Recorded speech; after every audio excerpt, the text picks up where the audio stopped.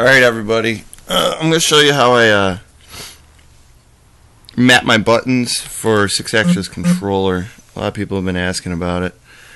So here we go. Basically what I do is on the ROM that I'm running on my Acer Iconia, if you go to settings, go to screen, screenshot. Now you have to be rooted, I believe, for most screenshots to work unless you have a Galaxy S2 phone where if you hit power and the home button at the same time, it will work. Now, you can go into the market if you're rooted and look for a, just search screenshot, anything that you can capture, screen capture, anything that basically takes a screenshot. So, for Modern Combat 3, I will open it up I wish I knew how to video edit so you don't have to sit here and watch this. But what I do is skip this stupid intro.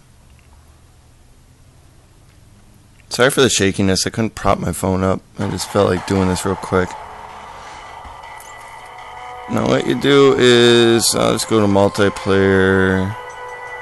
We'll go local Wi-Fi, so we don't have to wait for anyone to join. Go to create match, start match.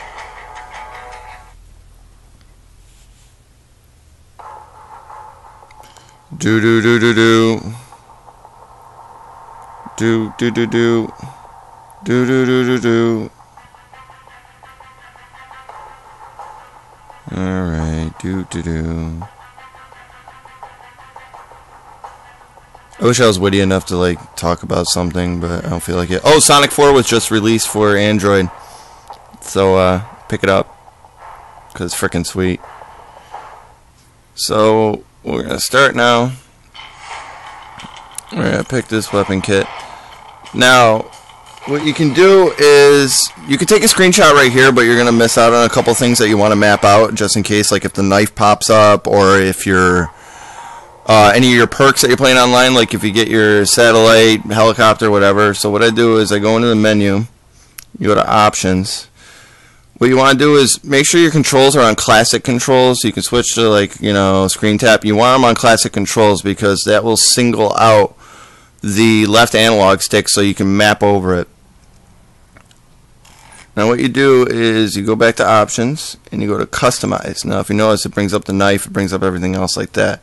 And what I do is I screenshot this. And after that is done, I exit out. Oop. I'll show you that one in a second. Now, when you're in Sixaxis controller, I'm not going to show you how to do it. There's videos on here how to actually set up Sixaxis controller. If you have a tablet, um, it offers pair controller options, so you can hook it up through an actual USB, which, oh, if you have mine, which actually has a full USB port. Doo -doo -doo. And um, you can plug in your controller, hit pair controller, and it'll change the Bluetooth address on your PS3 controller to the one that's actually on the tablet. But I'm on, if you notice, I got my little, where is it? Yeah, red light. I'm already on. So you go to your menu, Go to preferences. Whoops. Sorry, I just woke up. I gotta go to work. Uh, you go into preferences and go to edit touch profiles. Now double tap the screen. Now what you do is you change the background. And you go to your screenshot and then boom. Oh look at that. See how it's all there waiting for you? Then after that, all you do is double check the screen and add button and we'll start with analog left. So you take the left analog stick and you put it right over the analog. Ta-da! Now, the finished product, load profile, we'll go to Modern Combat 3, will look like this. Analog's over my analog. I have start with pauses. Select will bring up uh, how everybody's doing. Circle to crouch. Analog right, uh, you have to double tap and go to button properties and for the right stick to work for looking around you have to put on relative touch mode mess with the sensitivity afterwards to your likings so I do that and then keep this open and go back in a task manager to modern combat and it'll leave right where you're left off so tweak it out and then uh, see how it works on the screen. And if you need a little bit more tweaking, then I go back to Sixaxis and then mess with the sensitivity some more. I have triangle, L3, R1 to fire. I have it set up basically exactly the same as Call of Duty, so it's freaking awesome. Now there's other games too, like uh, I'll go to low profile, like Sonic 4. I just I just installed the other day. If you notice, on the very tips of each of them, up, down, left, and right, and then analog. I, I mapped everything to the freaking button because it's one it's a one button game. You know what I mean? And then you save your profiles and you give them names, and then when you're on this screen, when you connect, you go here and it says Sonic 4, Modern Combat 2. I have Angry Birds mapped with the analog, everything. All you do is just map the buttons over it to your liking. Just tweak it out. Grand Theft Auto 3, Modern Combat 3. Like I'll go to Sonic 4 right now, and we'll close out. We'll go to Sonic 4.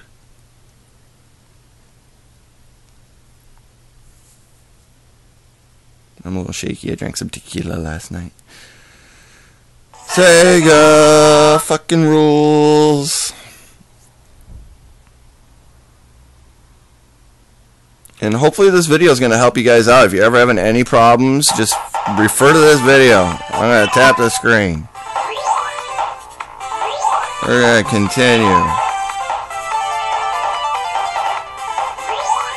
Why is it saving? I'm continuing. And we'll just go back to the beginning, play this act. Do do do. Old school Sonic. I miss you.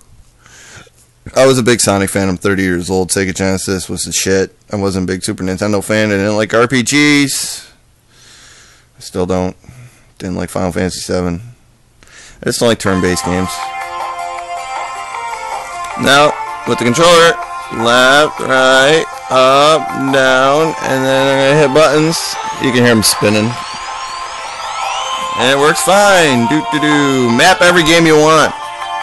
Also, a really cool thing, like a Bobo's Big Adventure came out for PC.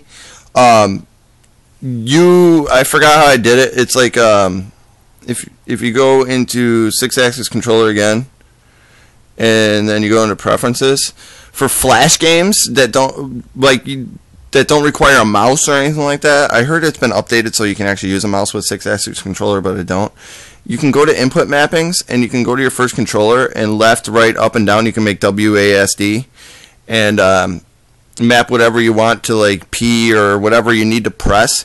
You could play a Bobo's Big Adventure, which I really recommend, or any Flash game that uses a WASD or up, down, left, right in the keyboard. You can map that on your controller and play Flash games. So it's endless how many games you can play for Android now with the Sixaxis controller because of this too.